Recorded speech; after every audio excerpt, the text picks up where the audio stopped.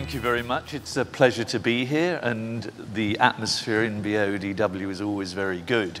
Um, yes, the connection between the city culture and creativity was begun to be made probably about 25 years ago, and obviously what we've just heard from Michael is an expression of that in its full flourishing, whatever we're about to see in the next coming years. Um, so let's take a closer look at this whole issue. And I want to just take you on a bit of a journey, um, but play also a bit of a thought experiment, which you'll see uh, in a minute. Now, one of the things that's quite interesting is the cities we love, as someone said, we cannot build anymore because the economic dynamics that exist seem to push us away from that. And that's quite interesting. I do still think, though, there is the potential to sort of reclaim the sort of good virtues of the great city. And for many years, I've been asking people to give me adjectives and words, what for them describe a city that is really, I don't know, fulfilling, good, creative, etc. And these are the sort of words people say, and you'll be well acquainted with them. Um, and they're all very easy to say, but actually, in reality, not that easy to do.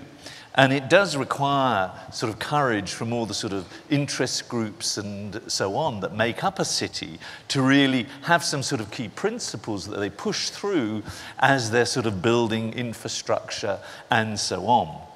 And as you know, there was the Shanghai Expo, which was all about better cities, better life. And this question of what is the great city? What can cities become? What can they become like in the future? has been a central question that everybody's asking. How do you blend the nature and the city together in ways that are fulfilling and so on?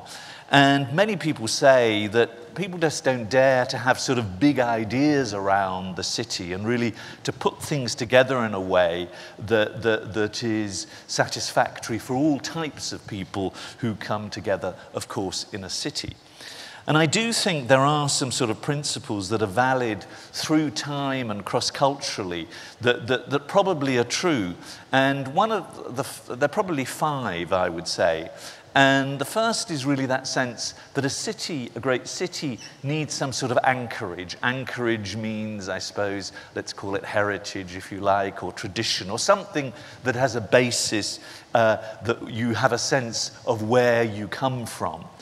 The second point, though, is very much the opposite of that which is is there a sense of possibility, can do, um, stimulation, buzz, all of that, equally in that place that provides some sense of anchorage. And thirdly, there's of course the question of connection connection of different people, different cultures, and so on, but also connection in all the physical and other virtual senses that, that, that make a place interesting for, for people. So that's the third element. The fourth, you might say, is a city is great when you feel that you can self realize yourself in some sort of sense. That may be through education, but it can be in all sorts of other ways. Really trying to be the best that you can be is perhaps the fourth element. And the fifth is really that sense of occasional inspiration. Inspiration obviously comes in many forms. It could be artistic inspiration, but it also could be, uh, you know, other forms of spiritual inspiration, whatever that is. But anyway, inspiration might be the fifth. Now, why do we, in all of this context, talk about creativity? What, why has that suddenly come up in the agenda? Well, I think really it's so important because it's about adaptability and so on. And of course, the word seems for many, when it really rose up the agenda 10, 15, 20 years ago, people started saying, What's all this vague stuff about creativity? What the hell are you talking about? But I do think it's really, in terms of adaptability and resilience of a city, a question of survival. And many people say it's really quite urgent. I'm not quite saying it's one minute to midnight, but you get the general idea. I think graffiti is always very useful to tell you what's going on in the world because it sort of tells you a, a story. Now, of course, cities have always been creative. Um, they've always been the laboratory for the solution of the problems of their own creation. This happens to be, you know, Brunelleschi in Florence, the cathedral. Obviously, it's creative trying to put that together. Or here's the Sagrada Familia inside. The only difference I would say between then and now is really that we're very self consciously aware that this thing, this attitude, this flexibility of mind, and all of that that we associate with creativity is actually a resource, a currency. It's a sort of currency, whether it's more than money, I don't know, but it's certainly one of the resources that we can use. Now, it's interesting. For many years, people, and those in the audience will all know that, people have having to, people like you have had to argue, what's the value of, let's say, the project that Michael's doing? What's the value of art? What's the value of design? What's the value of soft thinking? What's the value of creativity? I never answer that question anymore because that means that the person who's asking you that question is really asking you to justify your existence by them saying, What is the value? I always ask the other question What's the cost of not? What's the cost of not being culturally literate? What's the cost of not being design aware? What's the cost of being unimaginative? And that's interesting because that other person who's not interested in those things, you can just ask them why. The shoe is on the other foot, in other words. And I suppose the key element that I've realized over the last period is actually before we can even talk about creativity and those things, we actually need to be talking about curiosity and places, cities, generating the conditions whereby people can think, plan, and act with imagination. Because out of that curiosity, which I think is the first point, if there's a culture of curiosity in a place, we might have some imaginative ideas of some sort or imagination, out of which creative ideas flow, some of which are good, some of which are bad, and out of which you might get an invention, and ultimately, when it's applied, an innovation. And that then leads to that cycle. So that's the way I tend to, to, to, to look at things. Now, of course, we all know there have been dramatic transformations around the world and so on. And the world, in one way or another, you could say, is a smaller place than it was before. And that, of course, is true. And some of these places, of course, are going downhill. You know, I come from Britain. Is it going uphill, downhill? Probably more downhill, I'm sorry to say. Other places, of course, going uphill. Um, and within that uphill, the younger person here, this young Chinese woman, looks much more confident than the older guy. But all of this, the world is one place, of course, has interesting ramifications in terms of global culture and the fact of how the identity of particular places evolves. And of course, there's the other issues that I'm sure has been discussed that every city is trying to be magnetic. And in that becoming magnetic or being more magnetic, they obviously want expertise, skills, aspirant people, talent, whatever you want to call it. Now, this is my little thought experiment. City 1.0.0 is, in a sense, that city that we had, that past. I've left that blank for the moment about Hong Kong's past. There's lot, so much left of it. But what we've really encountered is, of course, the City 1.0. So many of our cities are really hardware driven. They've really been built according to the urban engineering paradigm, as if the city were a machine. And of course, that's very functional, but often, I mean, you'll recognize where this is. The housing looks more like warehousing and so on. And it may fulfill people's functional needs to some extent, especially if you put a nice plant in front of the window and so on. But these places can often be completely unsatisfactory from an emotional perspective. This is an Australian city. I won't tell you where, Michael, but I lived here for about eight weeks. And so I got the sense that whoever did this wasn't sort of really interested in how I got from A to B. Um, and of course, there are modern versions of this. This is Dubai. I mean, it's a bit like the film Metropolis. Uh, of course, the adverts tend to show that it's green and so on. But this is the reality. It's very difficult to walk around. Many of those words you saw earlier are difficult to achieve in this sort of context. Now, I'm not saying there's a problem with engineering. Engineering is fantastic. Things have to stand out. The way you're building that new land is an engineering project par excellence. It's just really that that's not the only mindset that should be determining how we live in our cities today. And of course, linked to that is a sort of cultural approach, which I'm calling Culture 1.0, which has its own repertoire. And you know what that repertoire is. It's sort of a series of institutions that are open from 7 to 10 where the performance is on and the rest of the time they're closed. They're sort of isolated islands in the middle of nowhere. And inside them there may be interesting things happening, but you as a citizen and just moving around the city can't experience that. And part of that repertoire is, of course, things like festivals and so on, as well as public art. And public art is usually red. I don't know, I mean, I understand that red's a color you love in China, but also in Europe, sort of 80% of public art seems to be red. Why no yellow? Why no green? Anyway, that's just a, another question.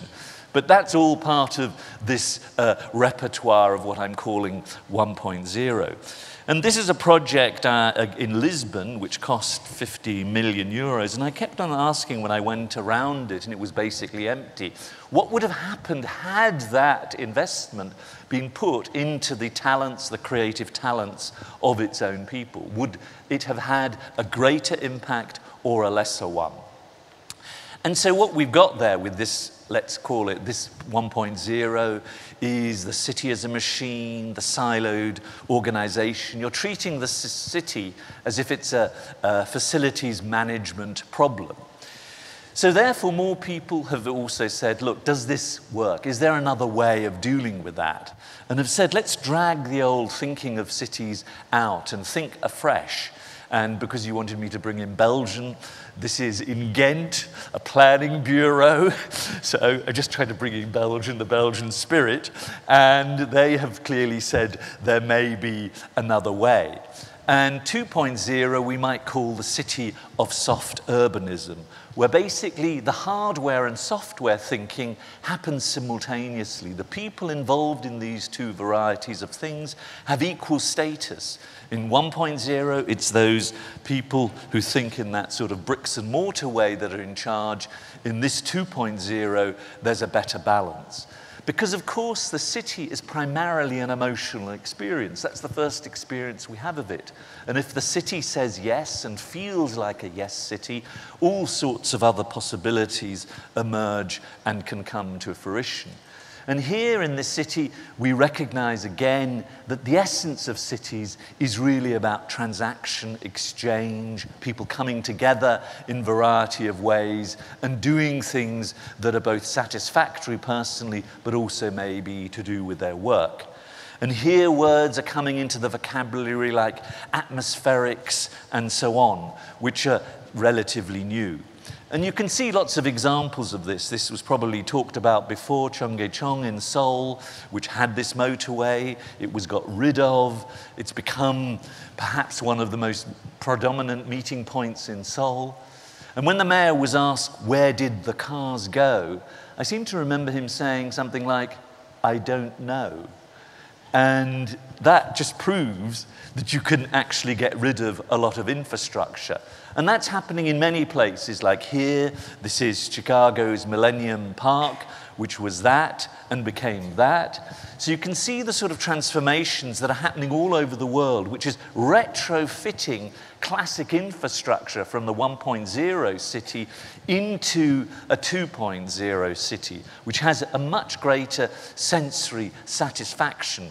This is obviously the High Line in New York, and this is near Times Square, where people are recapturing the street in variety of ways. And here in Paris, again, you see the sort of soft infrastructure merging with the hard. In terms of culture, the emphasis then becomes much more on things like the creative economy, the cultural industries, and so on. And classic examples are all the warehouses all over the world that are incubation centers, like here in Rotterdam. There are six companies working here. It's the flexibility, the fact that you're blending old and new together that attracts. And of course, it allows the sort of economy, that new economy, to be operate much more easily than a classic corporate context. And a couple of Dutch examples here. This is a museum which looks like a museum of textiles, and you might say, Do I want to see another textile museum? But in fact, this museum is a showcase case of creating new products out of machinery, some old and some new. So the shop is a showcase of new inventions created by artists and others um, in a museum setting. So that's redefining what a museum is. Or here, I think, is an interesting social housing project in Arnhem, again in the Belgian Dutch region, lots of designers, as we all know, and fashion is a big thing. But there, the social housing policy was to leave the social housing on top, but to allow the students coming out of that university both a working space and a showcase, a shop. And this area has suddenly, as you can see, revitalized to that simple social housing uh, policy. The third, though, example I'm giving here is Istanbul. This was the classic sort of hub of music creation, selling, and all of those things together. Agents were there and so on. And this is a classic dilemma. It's become very popular. That was three years ago. Now, this was two months ago it's sort of closed. And what's coming in here, of course, is a fashion shop. A fashion shop selling some brand that we may or may not know. So, one of the dilemmas of this 2.0 is, of course, this obsession we have with branding and brands, which, of course, are important at some level, and also trying to revalue and give more value to the ordinary, in this case, shoes. This is Florence uh, uh, Salvatore Ferragamo produces shoes. He produced them from Marilyn Monroe. So they've got a museum where, of course, there's an exhibition about Marilyn Monroe. Nothing wrong with that, but it's just that interconnection between trying to make consuming things more interesting. Nearby is the Gucci Museum, doing it with bags and so on. And most interestingly, or perhaps most well known, is the way Louis Vuitton used Yayoi Kusama to, in a sense, sell all their range last year, which apparently was the most successful of all. So that's really about the shopping thing, and this is Banksy subverting a museum in Bristol, and anyway, you get the general idea. And part of that, of course, is spectacular architecture of various sorts. And here, I believe, is a new Herzog de Meuron thing in Hamburg, uh, which is going to be the concert hall and 13 stories of, of apartments. Again, like many of these things, it's not Herzog de Meuron's fault, by the way, but the budget has gone way over that it was going to be. And this is an interesting image I took in uh, Zurich, which is another Renaissance hotel, not the one here. And this is all the knowledge economy moving in. But one guy said, I want to keep my old house. And in the same writing as Renaissance, put resistance. And in a sense, this is the classic dilemma that, in a sense, we all face in terms of urban development. So this city is more organic, it focuses on the public realm, it's more emphasizing partnerships to make things happen, but it also spectacularizes the city. The 3.0 city is perhaps about something different. It's about not this old way of thinking about the economy, one producer, one idea, one distributor going to households. It's more about understanding the way that small SMEs, there's the World SME Conference happening here simultaneously, that build into networks and alliances that come together with interesting new supply chains that distribute in all sorts of different formats to households and then come back together again. And that graphic description of this different world is very much about the here there phenomenon. And I'm sure many of you are simultaneously being somewhere else on your mobile and perhaps listening or not. And it's where that, again, that sense of flexibility has reached a completely new level or nomadic lifestyle. Here, this is Amsterdam, people having their offices in a container that will move. Very much about the pop up culture and even this office here, this is a German invention, an office, which you can carry around with you like a dog. I don't know if they do, but you can, in fact, pull it around with you. But anyway, it's just emphasizing this question of flexibility. And that's, of course, based on the whole notion of open source, open data movement, transparency, and so on, and a general level of, let's say, openness. And that has a cultural version as well. And I'll just go back for a second to that, which is really where we're much more concerned also about people making and creating their own culture. I'll just give one example. This is in Helsinki. And in 2011, on the 5th of August, someone did a social media campaign because it was so difficult to create restaurants and said, on this day, we will create restaurants. And 80 restaurants suddenly sprung up all over the streets. This was a provocation to the bureaucracy. The bureaucracy was so surprised and said, actually, this is a bloody good idea. And since then, this has become one of the major themes in the Nordic countries of just opening restaurants onto the streets on certain days of the year. So that's a different sort of culture, which is very much reflected also in the TEDx approach to life as well. So therefore, the city 3.0 and cultural 3.0 is different. It has a different physicality about it. It also has a different operating dynamic.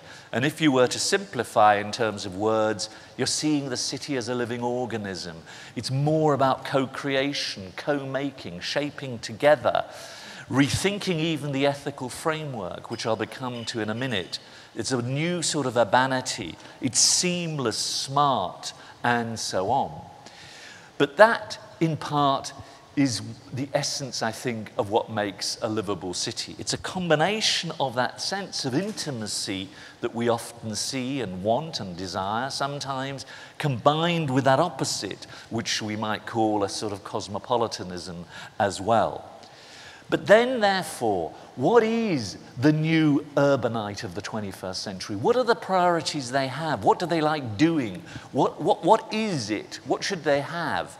And I believe, obviously, we all have some sense of right to the city, but also responsibility for it.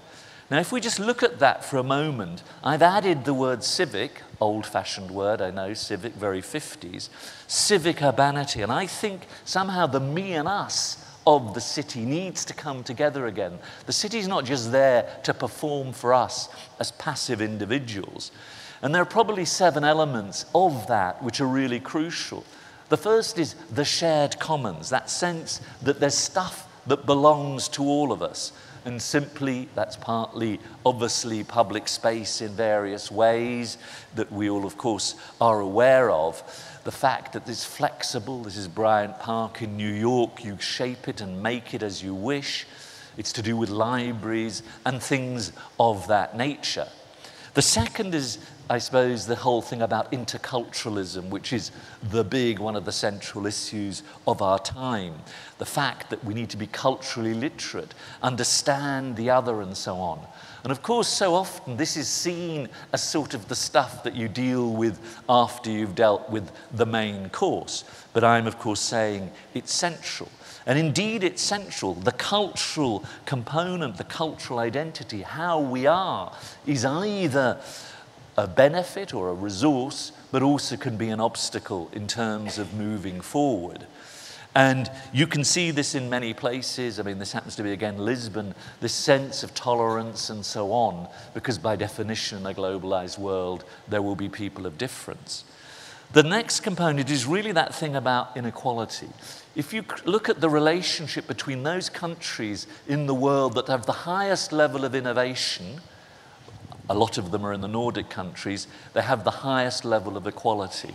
So equality, at some sense, is a real force for innovation in one way or another. Because what that's about is harnessing the collective intelligence of a group, a city, a country, and so on, and putting it together in some sort of way to create interesting solutions.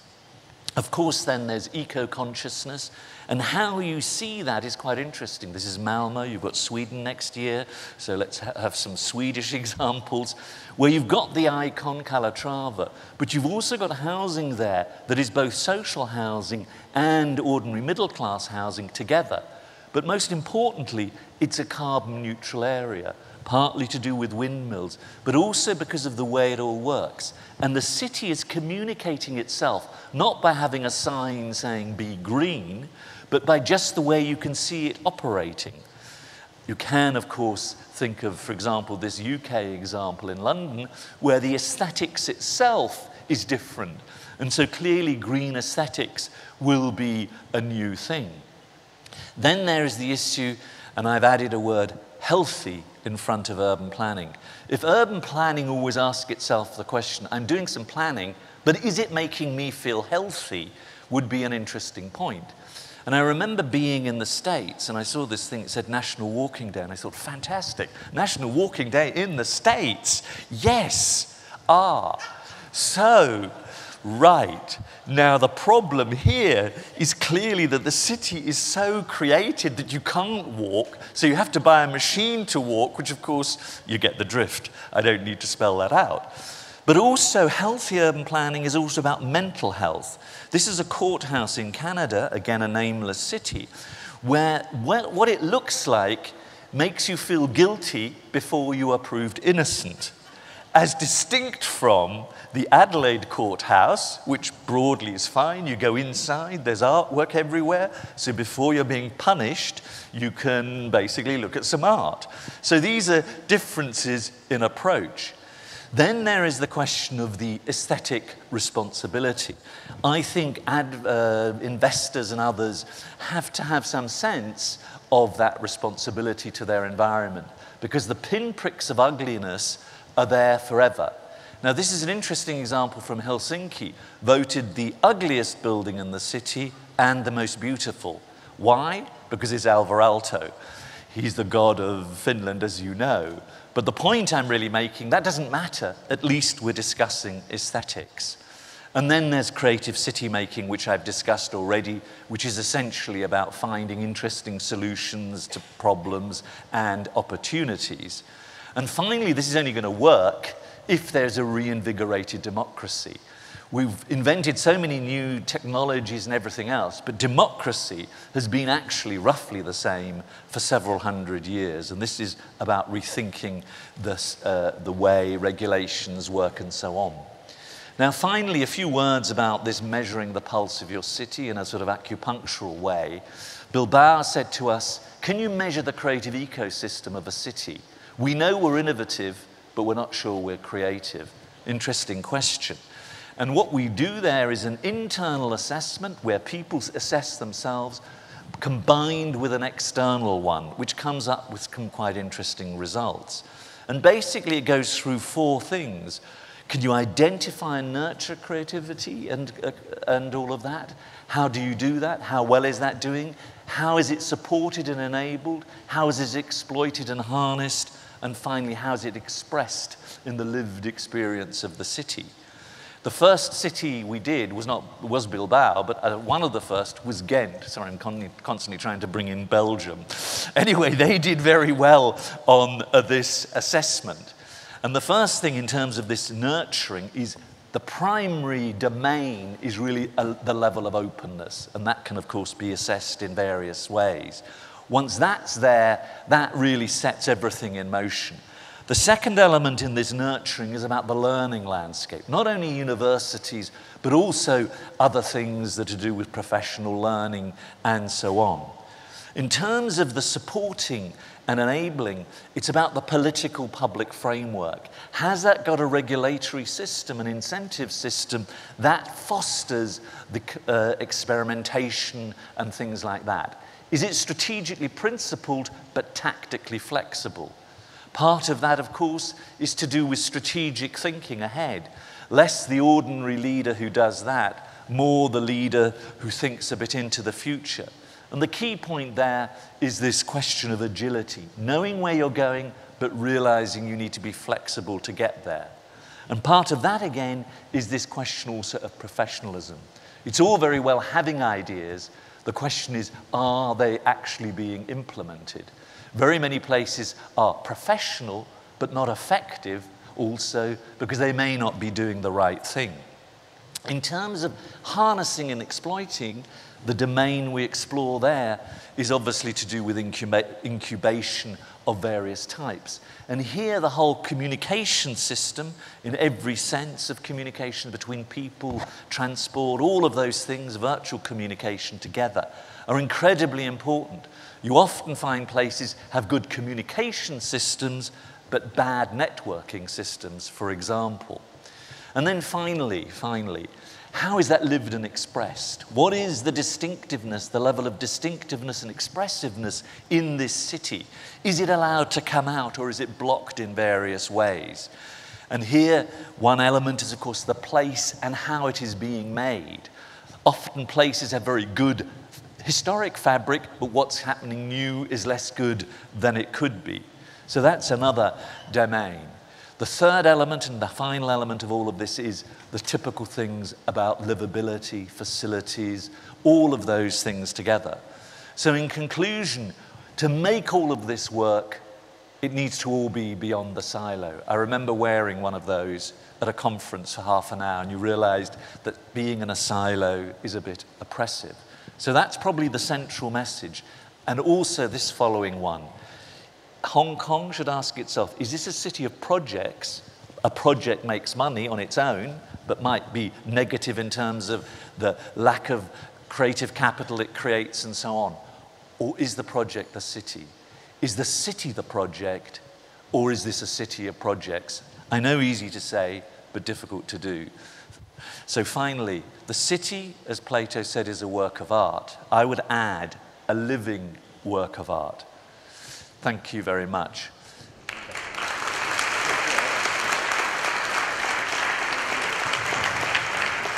Uh, thanks very much, Charles. You've, uh, you've packed quite a bit in there. In fact, you packed so much in that we're way over time. Okay, well, uh, I'll leave. So, well, I, have been told, unfortunately, we don't have any time for questions, but I'm going to ask you just one question anyway. I mean, you've, you've given a very inspiring talk, uh, painting this wonderful image of sort of this uh, idealized, uh, progressive, enlightened, um, very Scandinavian in, in, in some ways city. Uh, one, one, ingredient that I didn't see, though, which, and, I, and I'm wondering how sort of out of fashion uh, you think this is uh, these days, but is the idea of friction. Uh, I mean, uh, uh, I, I think one of the wonderful, important. yes. Fr friction tension obviously is important. I mean, in general, this whole creativity agenda is in fact quite full of friction. I mean, people feel generally unrelaxed about it. So even though I think it's necessary, by definition, even talking about this creates friction because it's about, uh, about the old and the new always bumping into each other. So tension is all part of that story. Okay, great. So, uh, I mean, as, as we in Hong Kong move from this sort of highly regulated, highly, uh, highly planned uh, City 1.0 into the sort of culture 2.0, 2.3, uh, phase. We, uh, we're, we're looking forward to seeing what, what your further observations are and, and, and uh, with, with all the frictions and, and, and so on, that, that will likely be part of that as well. Uh, which is in many ways uh, necessary uh, to a, a, dynamic city. You, you need, friction is part of the creativity of, of a city as well. So, so that's one lesson I learned from your talk. Thank you very much. Thank you.